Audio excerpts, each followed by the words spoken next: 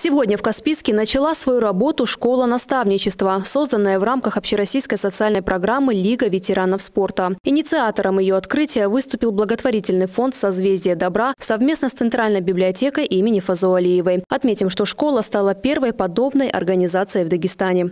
Программа началась в 2020 году, когда возникла необходимость обратить внимание на людей пожилого возраста.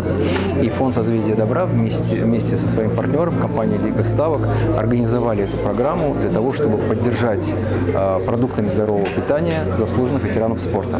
История отправки продуктовых наборов переросла в формат общения людей разных поколений с целью передачи опыта. Сегодня программа «Лига добра» действует в 11 регионах России – Москве, Краснодарском крае, Брянске и других субъектах страны. Мы строим спортивные объекты, мы поддерживаем спортсменов разных поколений, поэтому здесь собрались э, дети-спортсмены и ветераны-спортсмены.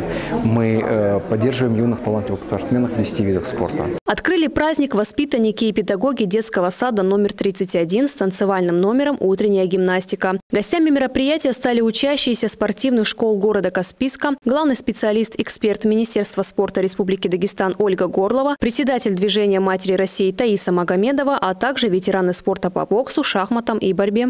Живите радостно и чувствуйте, что у вас два ангела крыла, которые вас бережет одним крылом мама, другим крылом отец. Ветераны рассказали участникам встречи о своем спортивном пути, о том, чего удалось достигнуть и что нужно для победы. Также они отметили, что с радостью примут участие и в следующих встречах школы наставничества.